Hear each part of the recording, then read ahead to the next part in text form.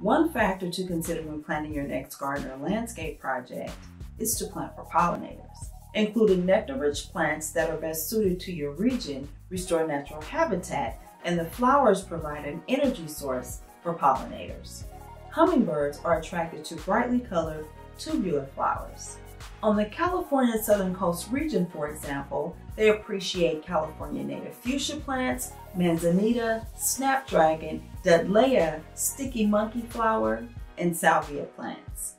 So think about planting a variety of nectar-rich plants that bloom at different times of the year, making your space a valuable resource for hummingbirds and other pollinators. This has been a garden butterfly moment.